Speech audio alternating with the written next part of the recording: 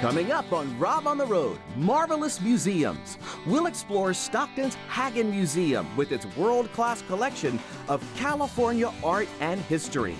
This is the Bierstadt that hung in which president's office?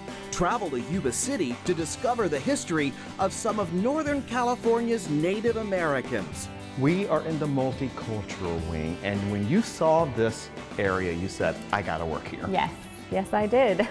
and return to Sacramento's renowned Crocker Art Museum for a look at treasures inside the vault. I am going to show you one of the most special drawings in America, right here in Sacramento. Wow. Rob on the Road, Marvelous Museums starts now. And now, Rob on the Road, exploring California. Hi there, and welcome to this edition of Rob on the Road. California has some marvelous museums, some known worldwide, others perhaps less discovered. That's why we're here we have found one for you today in Stockton. This is Victory Park. It's gorgeous, home to the Haggin Art Museum and an amazing collection of California art and history. Let's explore some of their amazing collections.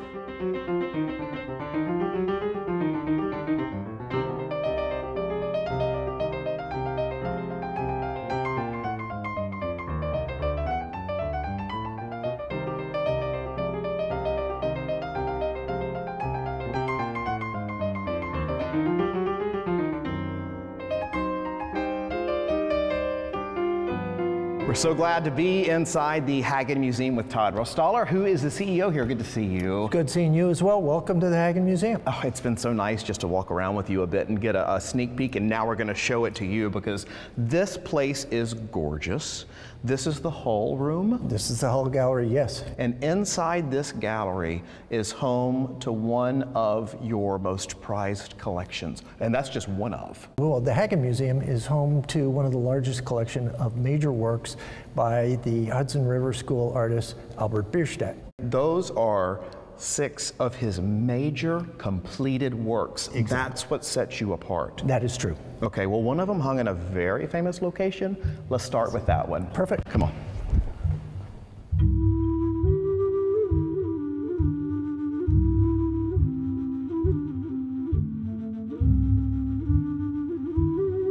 This is the Bierstadt that hung in which president's office? I'll give you a second to guess. That's a second, President Ronald Reagan. Exactly. During his first administration, they could pick paintings from any museum. They came to us and they asked to have this to hang during his first administration in the Roosevelt Room. Is this Bierstadt in the front? It is. He painted himself in.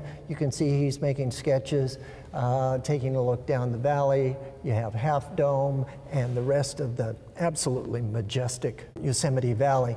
And this is one of five Yosemite scenes that we have in our collection. So why are Bierstadt's Yosemite scenes some of the most famous? Did he have anything to do with popularizing Yosemite nationally? He did. He was very early on the scene in the 1860s. He was in the park long before it became a national park.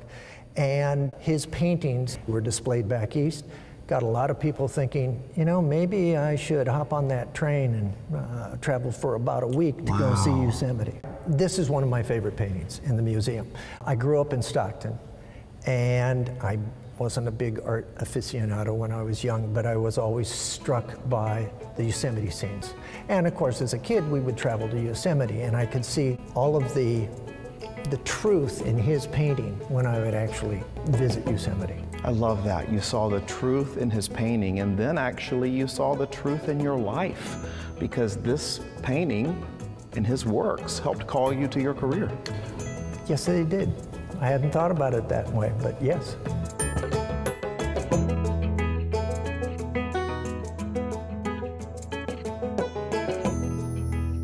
If you were to walk all the way through that painting looking up Yosemite Valley and turn around, this is what you'd see. With the sun going down, sunset in the Yosemite Valley, probably the most dramatic Bierstadt that we have in our collection. When visitors first come to the museum, if you were to watch them as they walk into this room, they're drawn to this one because it is so dramatic.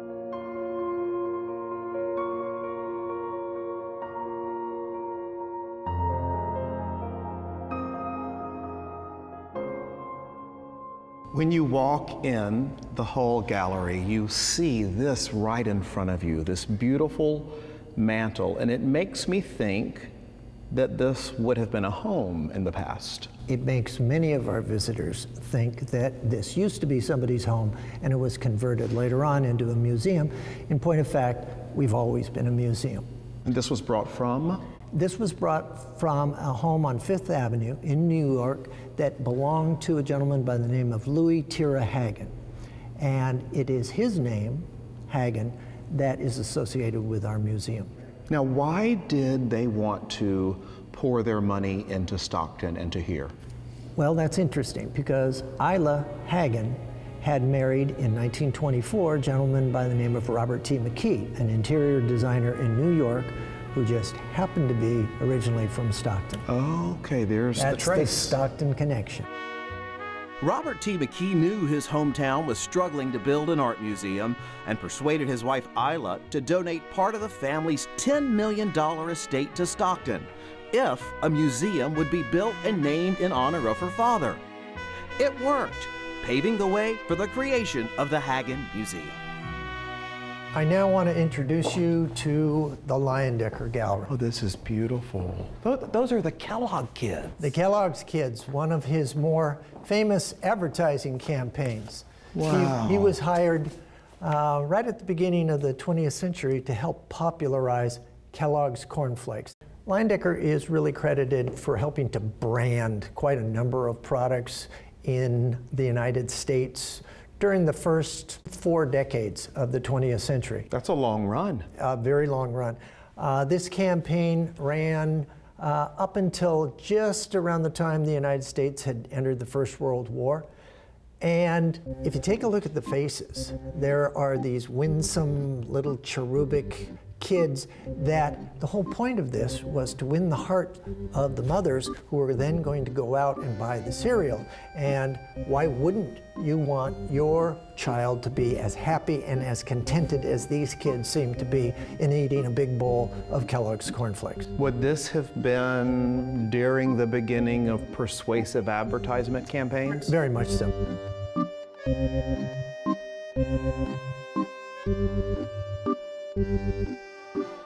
This was a gift from Norman Rockwell to the Haggin Museum. Right. And the story behind this is Norman Rockwell, the artist that most Americans most closely associate with the Saturday Evening Post, and this is a cover for the Saturday Evening Post magazine. But this is a Leyendecker. But this is a Leyendecker. J.C. Leyendecker was doing covers for the Saturday Evening Post long before Norman Rockwell. And more importantly, Norman Rockwell looked upon J.C. Leyendecker not only as a friend, but as a mentor.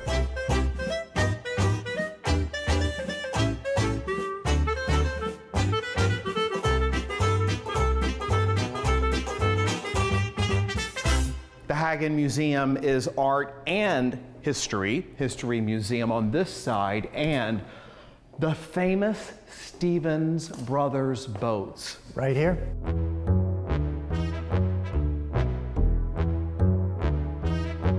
World famous, all made in Stockton between 1902 and when they closed their doors in 1987.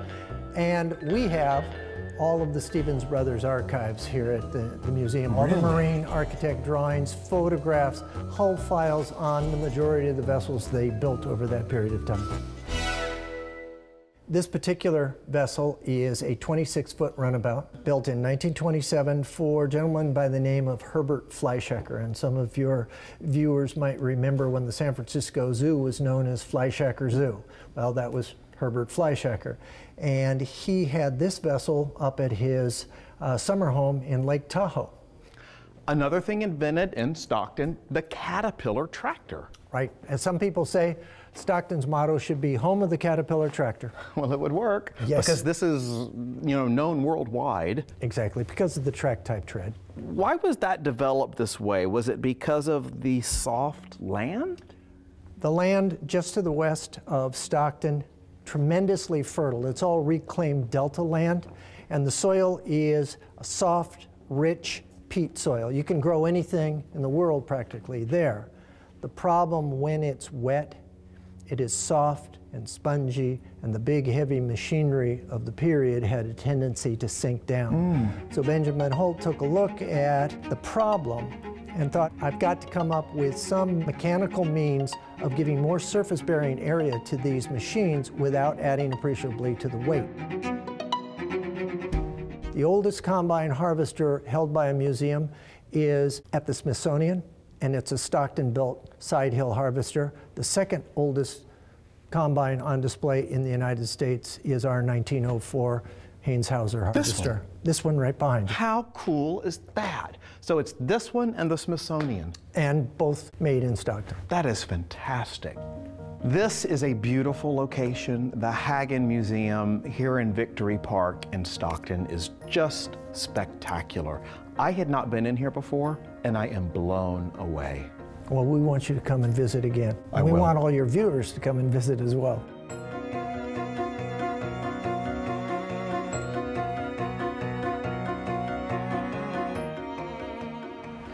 Know that Yuba City is home to a fascinating living history museum?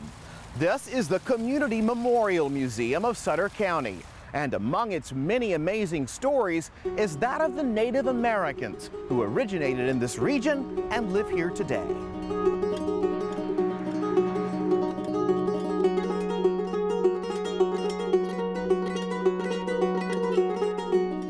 Jessica Haugen is the curator here at the museum, and thank you for letting us in your doors. Oh, thank you for being here. We're really thrilled about it. It's beautiful in here. Thank you. I stumbled upon this place when I did a show on the Sutter Buttes, and I'm so glad I did. Yeah. Because inside are treasures everywhere. Mm-hmm. Yeah, we hear that from a lot of folks in the community that they've lived here forever, they didn't know we're here, we're really a hidden gem in the community. So that's actually something we're working on. It's nice to be a hidden gem, but not this hidden.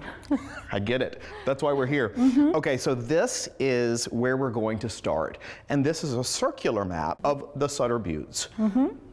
It is so wild to be in the middle of this. yes. But this gives you a perspective that I did not see when I was there. Yeah, it's really fantastic to have this almost aerial view of what the Sutter Buttes really are and how much area they encompass. So much history has happened in this area. Let's get started Yeah. on the tour. Absolutely. Let's do it.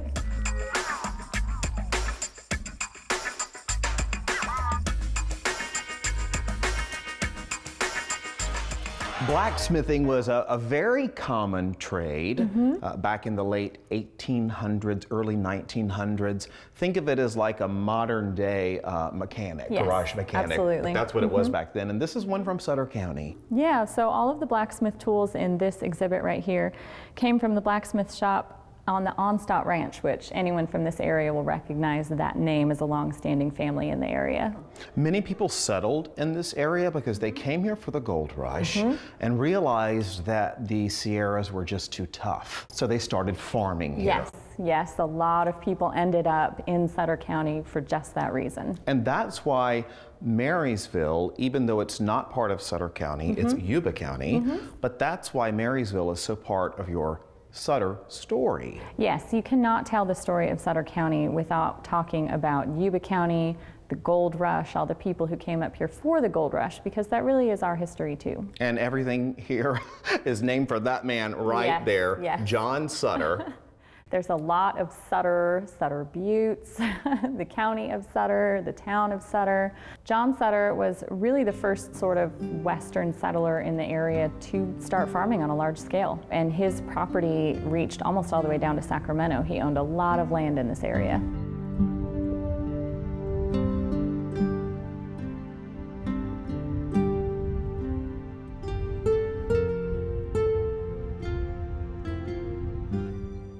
The things in this case we know belonged to John Sutter. Everyone asks about the large gun in the middle.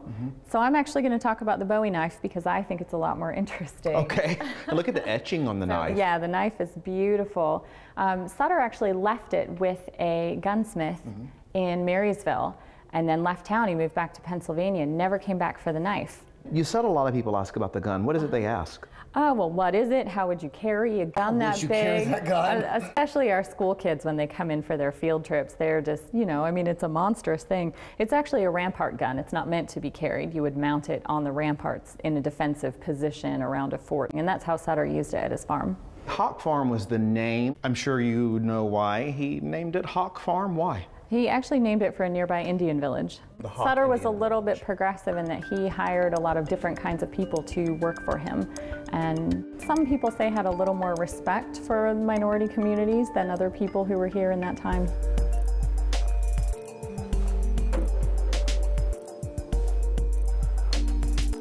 Cheryl, the story of the natives is so deep and interesting. Where do we begin? We begin somewhere between four and 10,000 years ago. We haven't quite pinned it down. Uh, the Nisenan Maidu, the Maidu are separated into multiple groups. The Nisenan Maidu lived here along the Feather River. In fact, Yuba City's name comes from a Maidu word of Yubu, which was the name of the village, which was located about where the courthouse, the old courthouse is in that area. Most times when you see a place that there's a town next to a river, it's on top of an Indian village because they lived there first. Mm. And that's how Yuba City works. There are some wonderful artifacts and relics here. I see arrowheads. I see andesite, you know, These are from the buttes. the buttes Yeah. as well, and then these grinders. There's grinding stones, very common. These are single stones. Sometimes you can find them where they're a bedrock and there might be a hundred holes worked in each in the stone where the women work together. Everything that we think of as boxes, Tupperware, cookware, dishes, storage, the Nisenan did it with baskets. Wow. So the women traditionally wove the baskets. These are a few examples of local basketry that we have. They're art. They are art. They're art and they're mathematics. Everybody had to count stitches to make the pattern come out evenly. These women could see these baskets in three dimension when they started. When were natives here in large numbers? Actually, the Hudson Bay Company came through the valley in 1833, and not intentionally, they brought malaria. They went to Monterey, they moved their way back up through Northern California, and the areas they'd been before, and some of these villages were 1,500 people, mm. were decimated. Because of malaria. Of malaria. And that wiped out in the valley up to 75% of the population like that. Unbelievable. Then you had the gold miners coming in, and the farmers and natives were in the way. And so in the 1850s, To them. to them. In the 1850s, you had removal policy. And in the 1850s, the native people who lived in Sutter County were forcibly moved over to Colusa County into the Nome Lackee Reservation. Of course, people filtered back. Do you know what I love about what you just said? People. Oh, yes. It's everybody. It's just people. Mm-hmm. And so many people have been treated so differently for many different unfair reasons, and that happened here too. Oh, very much so, yes.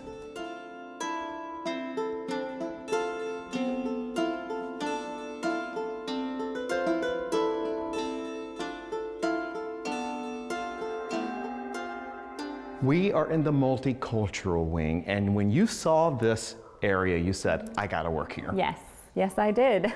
it's really, really rare. You could almost say unique for a museum of our size to have a gallery like this. We want to make sure we're telling your story I love here. that.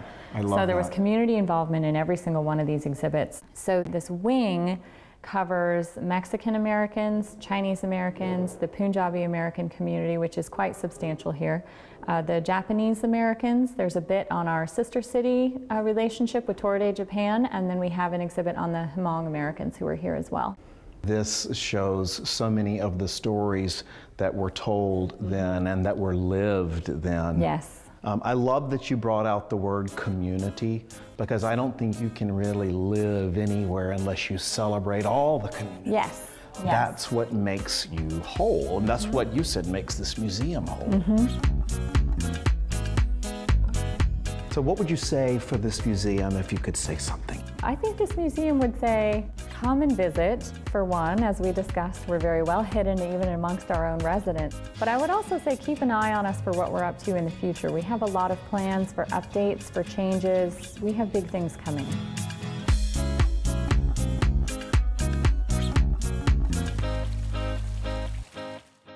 Of course, one of Northern California's most renowned museums is the incredible Crocker Art Museum in downtown Sacramento. It's a place you can visit often and always find something new and fascinating. Let's return to the Crocker to once again explore the entire state under one roof.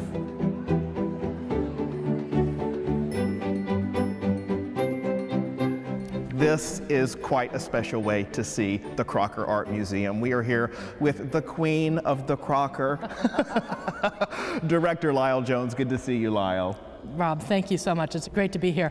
This is a world-class art museum, and you're going to show us why. Great, I'm delighted to do so. The museum was founded in 1885, so it's been around for a very long time. We're in the Gold Rush Gallery right now. Here you can look back and forward all at the same time. I love that.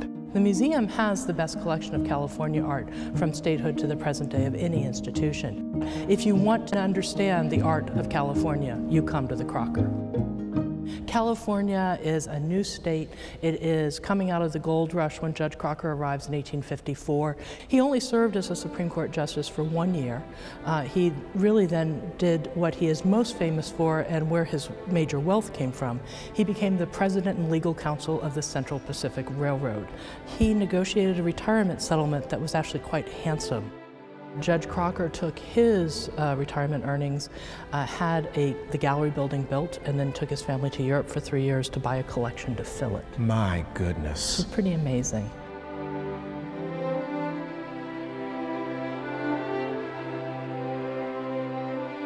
The Crocker Art Museum's Works on Paper collection is? One of the best in the world. In the world. And you know, the fun thing here is this is what you get the specialness of coming on a tour with me. Okay. Because the general public doesn't normally get to do this. Well, Come they get in. to now. Thank you. Where we're going is the vault. It'll take me a minute. I've got to like unlock it here. Okay, I love vaults. Secret code.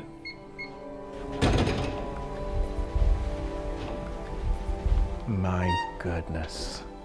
This is special. This is, in fact, most people don't get to do this, but you're special. Oh no, no, no, no, no. It's it's it's because this is part of the community. Well, you know, and this is, as I said, um, the works on paper, uh, the, the museum's collection, our master drawings are world famous.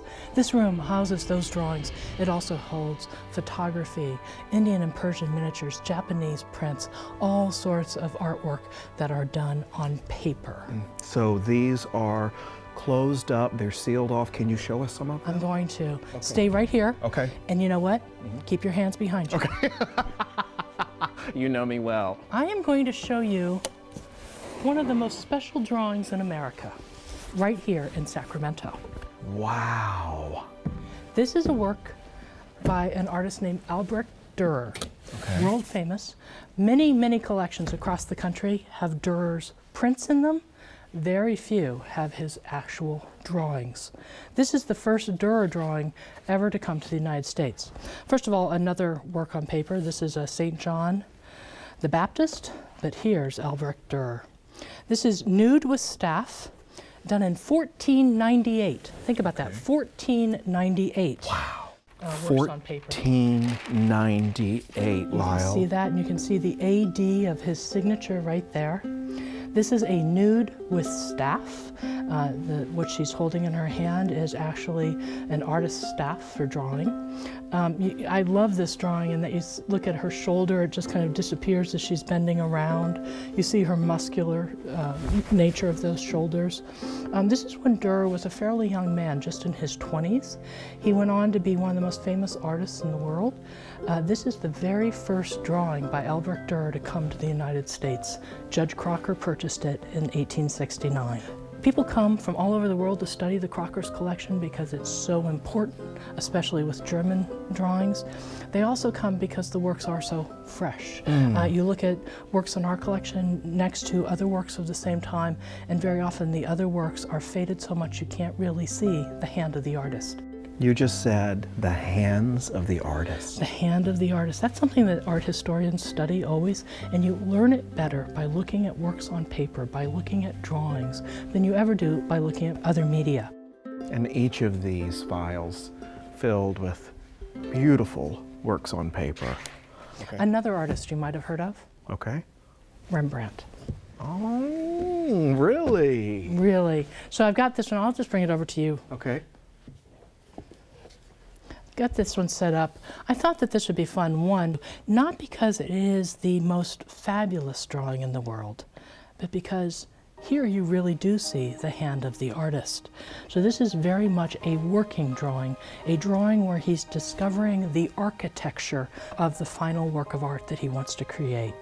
That is fascinating to me, Lial, that these works on paper take you in to the talent and the thought process of the artist. You know what's interesting? People like Rembrandt, he worked with a variety of different studio assistants. So when you see his paintings, you see his paintings, but you also see his students' work in front of you. Um, here, it's all him. How old is this Rembrandt? This is uh, 16th century. 16th century. What a treasure. Isn't that great? It transcends time and place. It takes me that close to Rembrandt. Mm. That's pretty amazing. And so does the Crocker. I hope so, always. What Golden State treasures, preserved and protected for generations to come, thanks to these marvelous museums. We'll see you next time, right here on Rob on the Road.